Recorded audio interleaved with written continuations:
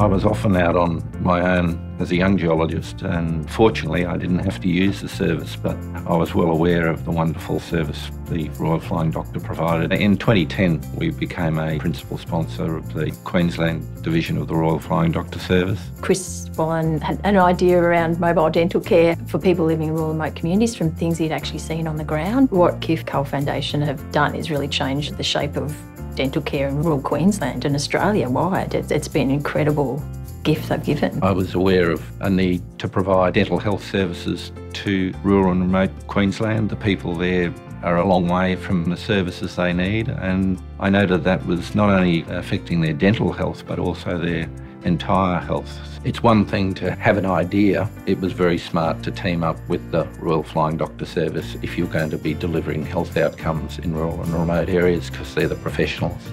QCoal funded the program for us to allow us to really trial the program, so it allowed us to set up a service, show increase in health outcomes and a sustainable business model, and then we were able to go to the federal government and ask for funding. It was spectacularly successful and the feedback from people and communities has been outstanding.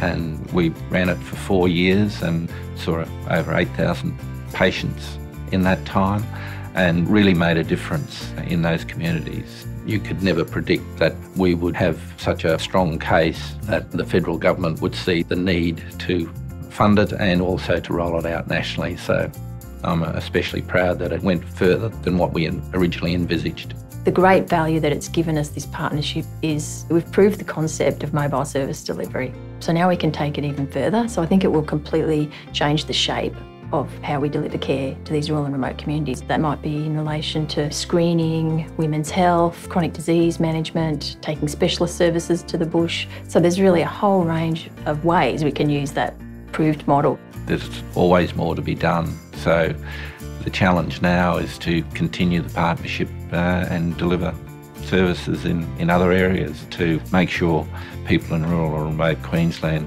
have the same health outcomes as in the capital city. I think what's ultimately underpinned this partnership and why it's been successful is we've just got a common vision to improve the health outcomes of people living in rural and remote Queensland. Um, and I think John Flynn was an innovator. I think Chris Wallin is an innovator. The partnership's been essential improving the health outcomes and, and dental care to people living in rural and remote Australia. Like, I'm not quite sure how it would have happened if it wasn't for the wonderful support of QCoal and Chris Wallin's vision.